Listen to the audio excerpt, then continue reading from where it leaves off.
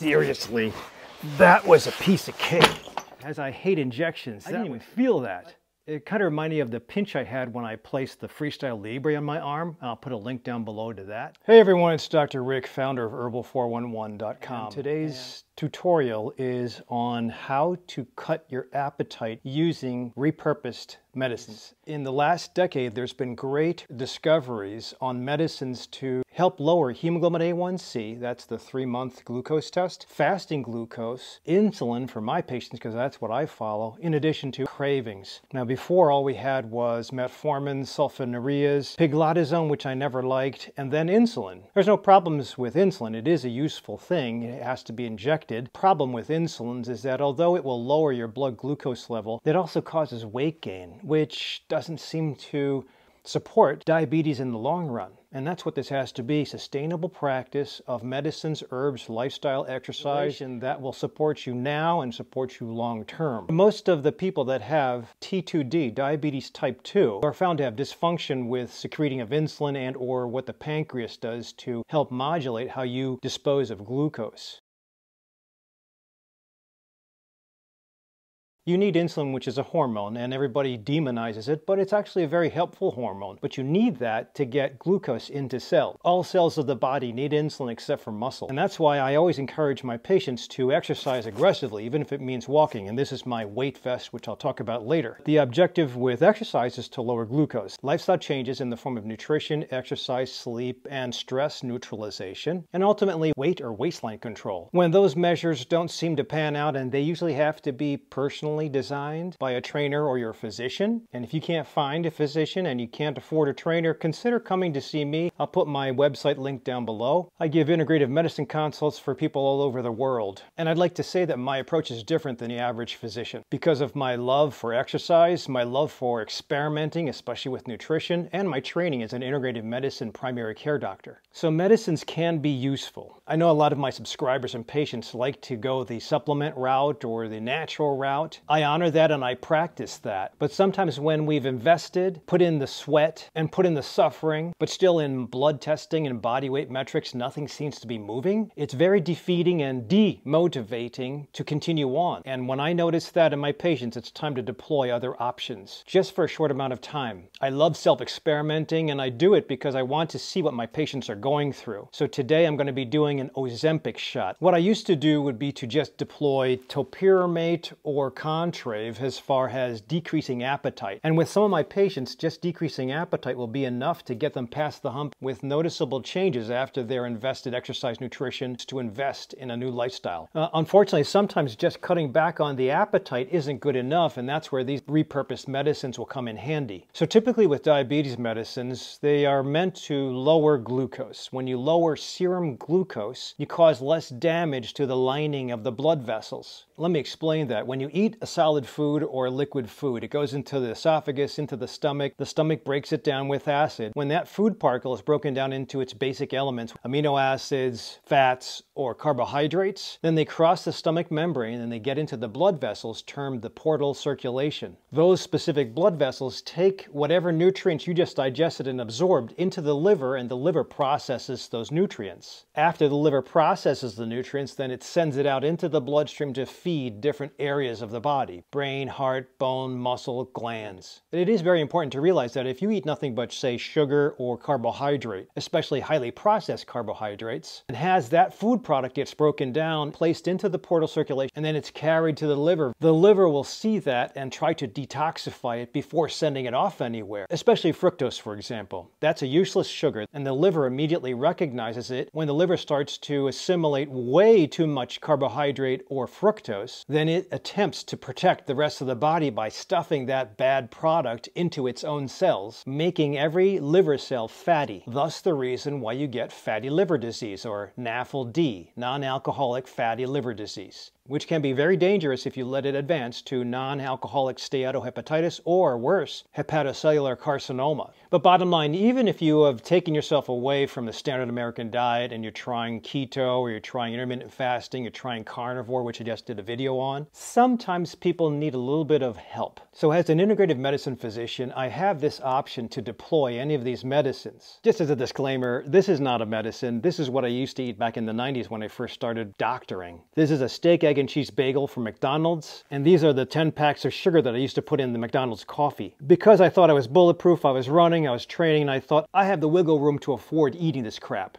And believe it or not, this is from 2011, and look at that, it is now 2022. Yeah. That's amazing that a fast food company can make that stay alive for 11 years. But can you imagine what that does to your body? So back to my presentation. My suggestion is, especially if you're a patient of mine, and you can be a patient on Herbal 411, just hit the link for a new patient consult and we can start making positive changes to your lifestyle. I have deployed off-label use of a lot of these to help with appetite suppression and weight loss. So I'm not going to get into the mechanisms of how SGLT2 inhibitors or GLP-1 agonists work, but I'll see if I can put some links to better explain what those two families are for diabetics and people who want to lose weight. If you are a type 2 diabetic, these two families of medicines have helped patients lower the basal glucose levels in addition to the hemoglobin A1C values. And I'd also like to say that the off-label results of losing weight will also help you lower LDL cholesterol. And some of these medicines have been used for heart failure by cardiologists. So even the cardiologists are using these medicines off-label. So that just tells you it's up to the physician to think in a very personalized approach what would best serve you as a patient with excellent benefits and very low side effects. What I'm going to be doing this time is starting Ozempic, which is a subcutaneous injection once a week, and combining it with this Prolon box. Prolon is a five-day dietary supplement that is produced by L Nutra, the founder of which is Valter Longo, who did research in the benefits of a fasting mimicking diet. For those of you who have tried Prolon or tried initiating a fasting mimicking diet, is the first couple of days suck because your body's very used to what you've been doing before. If you get satisfaction from highly processed carbohydrates or sugar, when you take them away from your body, your brain's going to react in a violent way to make you hunt for more carbohydrates and sugar.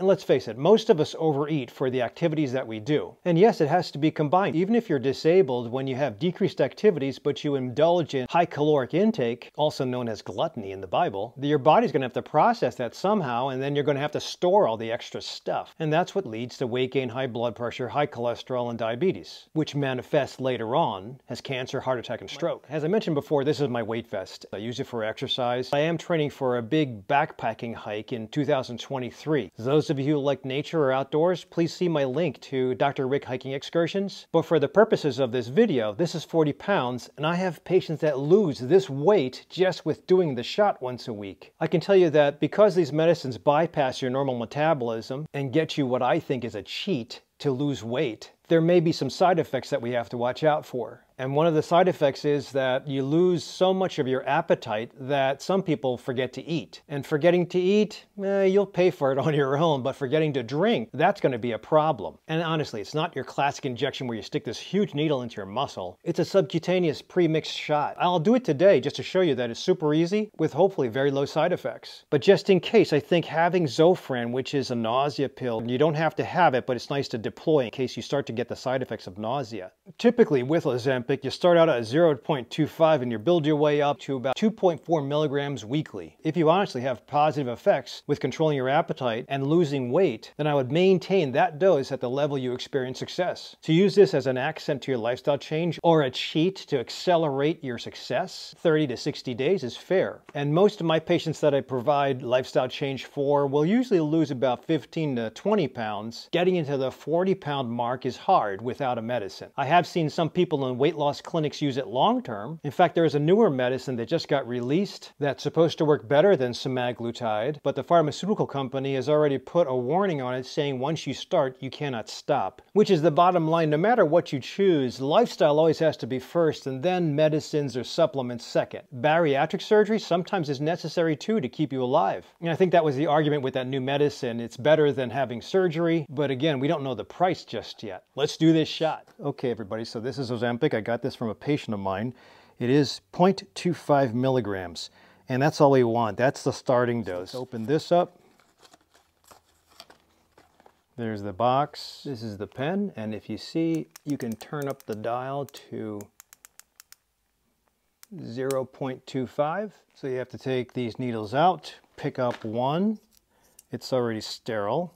So you take off this tab, put your needle on the end of the pen. After taking off the cap, you take off the needle hub.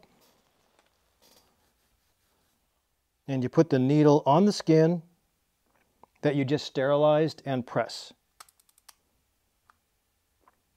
And that's it. That is simple as hell. Uh, you're not supposed to recap needles, but I have no choice. I got to put this cover back on, then put the thing on again. Take this off and dispose of the needle in sterile fashion. And there you go. I'll save this for the next one. I don't know if you heard that. I put it to 0.25, and then when I stuck it in, I clicked it and you can hear it spin back. As it was spinning back to zero, it was injecting the medicine into my thigh.